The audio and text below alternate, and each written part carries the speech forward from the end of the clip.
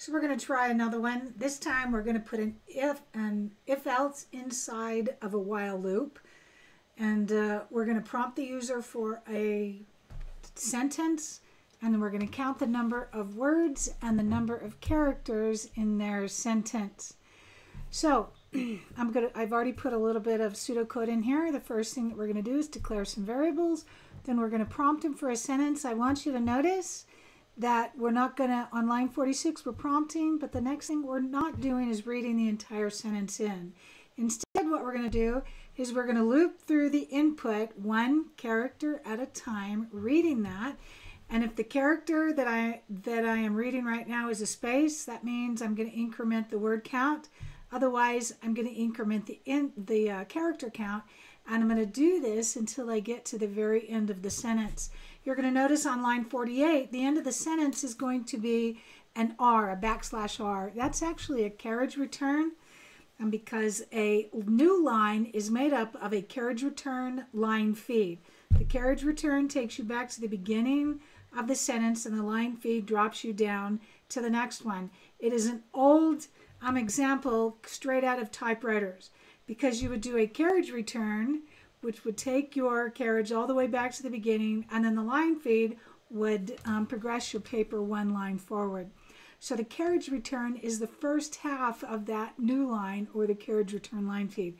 That's the character we're looking for when we get to the end. And we're going to see that there's a couple of ways that we can read the single character from the keyboard. So, and then we're going to display the results. And what I want to do is ultimately display let me circle back around and add a bit of detail or a little bit of detail. Generally, the first thing would be what do I want to display? And so I want to display something like characters, I don't know, 15, and we'll tab over and we'll say words is 7, something like that. That's what I want my display to look like. And the variables that we're going to need for this particular program, um, we're going to need a couple of them. We're going to need um, the char variable, because we're going to read one character at a time. And then we're going to need our word count and our character count. So those are the two variables, or these are the three variables that we're going to be needing. All right, so let's uh, now start filling it in. We're going to create a char variable, and we'll put it, uh, how about if we call it input char? And I'm going to set it to just some random character. And then we're going to do an int um, word count. I'm going to set my initial word count. I'm going to initialize it to 1 because regardless of how many words are in an input sentence, there has to be at least one, right? There can't be zero.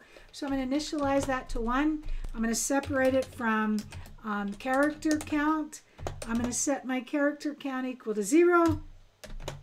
We'll start at 0 as we increment those, and then we're going to prompt them for a sentence. So I'll say enter a sentence.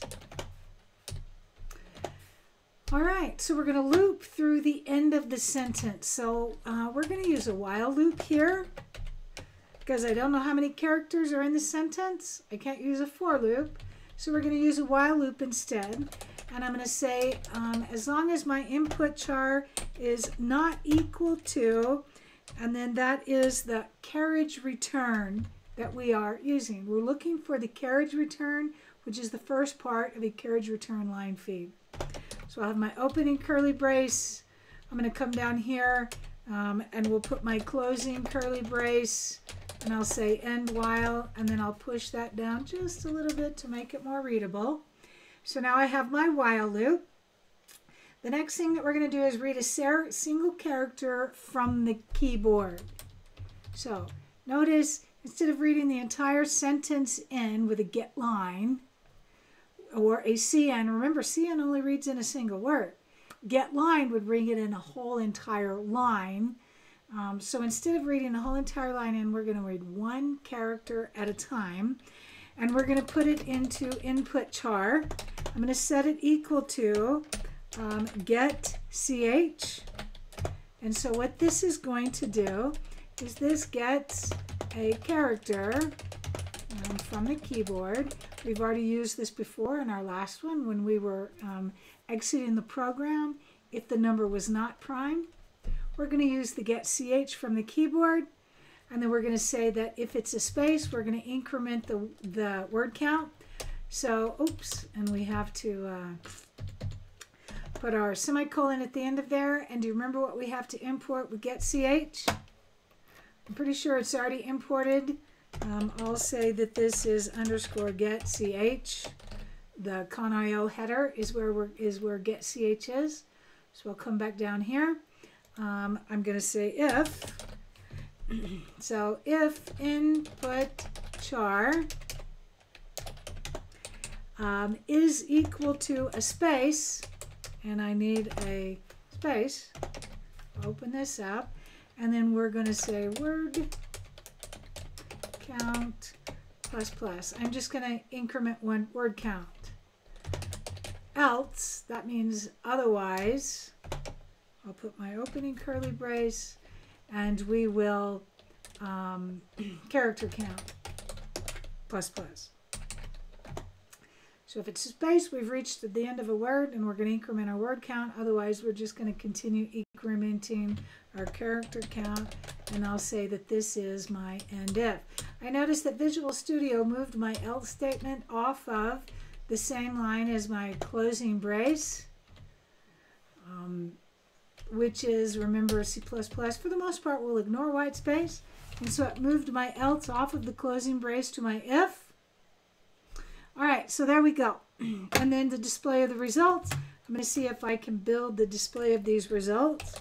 So we're going to cout um, characters. And then that would be char count, right? And then I'm going to force a tab in there and I'm going to put words. And then this would be word count and then we'll just put an end line at the end of that. And I think I might, from the beginning of this, I'm going to actually force a new line. I'm at the beginning of my display, just because we don't know exactly what's going to come before that. All right, so let's give this a try. We're going to run it and see what happens. Now, we're going to have to start with our prime program. And the only way that this is going to run, it will exit the program if the number is not prime. So I'm going to have to key in something that is prime so that I can finish this. So this says enter a sentence. I'm going to type in 1 space 2 space 3. 1 space 2 space 3. And then I'm going to press the enter key. 1, 2, and 3. It did have three words. I'd have to count up those number of characters, but you'll notice that it didn't mirror back to the screen the words that I was typing in. You didn't see anything that I was typing in, but it obviously did type something in because it did a word count, one, two, three, and then it did a character count. I'd have to add those up in my head. So there's another way that we can read this in, to read in a single character. Um, I'm going to comment that out, and I'm going to come back in here, and I'm going to say input char is equal to underscore um, get ch, lowercase ch, and then e. That e is actually going to echo. So we're going to get a character um, from the keyboard and we're going to echo it to the screen. Oops, not error. That's it, echo. I even said the word echo to the screen. So that's going to be the only difference between this. So instead of get the character, I'm going to get the character from the keyboard and I'm going to echo it immediately back to the screen. So let me run this one more time. Once again, I did have to put in a prime number so I can get to the sentence. I'm going to say 1 space 2 space 3. So this is getting each one of those characters and echoing back echoing them back to the screen and then when I press enter, there you go. I have my three words, 12 characters. I must have mistyped it the first time because I couldn't see what I was keying in. So let's run it again. Another prime number. Do I know, how many prime numbers do I know? 23. So I'm going to say this is a sentence. I can tell you straight up that this should be four words. I'd have to count those number of characters. And it is capturing each one returning it to the screen for me. and it gave me a character count and a word count.